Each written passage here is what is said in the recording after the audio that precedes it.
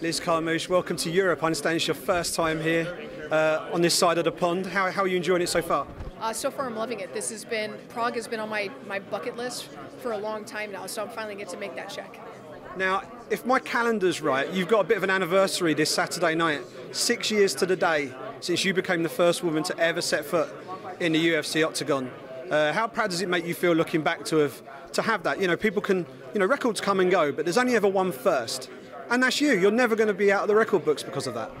Uh, yeah, and then also this is the first time the UFC is in Prague. It's it's another one of those history markers. It seems like I'm fortunate enough to be one of the people who gets to keep doing that for the UFC.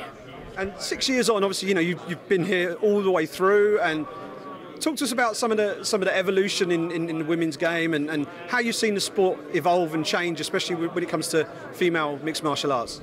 I think the the biggest thing that I've seen change is the 135 division.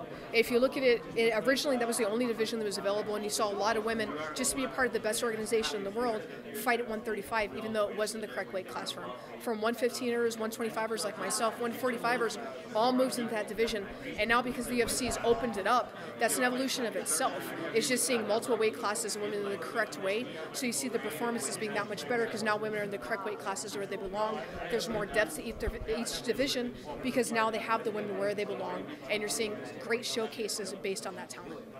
How much of a, an, a performance improvement or a comfort improvement have you seen since you've gone to 125?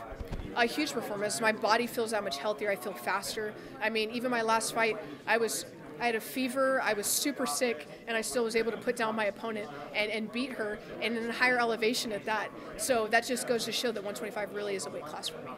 And the division looks wide open right now. You're sort of sitting about, I think you're sixth ranked in, uh, in, in the division right now. How do you see the, the championship picture in that division right now, and how far away do you think you might be from being able to get a shot at the gold? I think a great performance on Saturday should put me right back in contention for the gold. Brilliant. And how do you how do you break this fight down? Uh, Lucie's obviously got the, the extra pressure, perhaps, of having to fight on home soil. Um, you're coming in from from the US. You've got all that experience under your belt already. How do you break this one down? You know, I've seen it going either way, whether it be striking. I'm comfortable when it comes to just standing in the pocket and striking. I'm comfortable going to the ground. I'm, it really, there's no place that I'm not comfortable with this fight, and I've seen it going every way possible as I've envisioned it.